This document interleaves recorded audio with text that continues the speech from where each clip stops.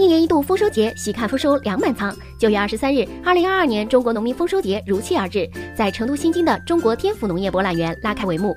本届丰收节以“庆丰收，迎盛会”为主题，是历届之中规模最大、内容最丰富、参与人数最多的一届，而成都成为了本届丰收节的主场活动地。为什么选择四川成都？得天独厚的地理环境和源远流长的天府农耕文化，让成都成为名副其实的天府粮仓。成都新津的宝墩遗址曾发现了四千五百年前碳化水稻等植物遗存。成都市区的金沙遗址发掘出了三千年前的农耕用具。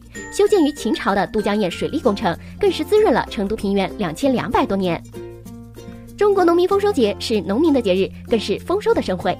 丰收节期间，成都将举行群众庆祝丰收联欢、颠覆农耕文明主题展等十多场丰富多彩的主题活动。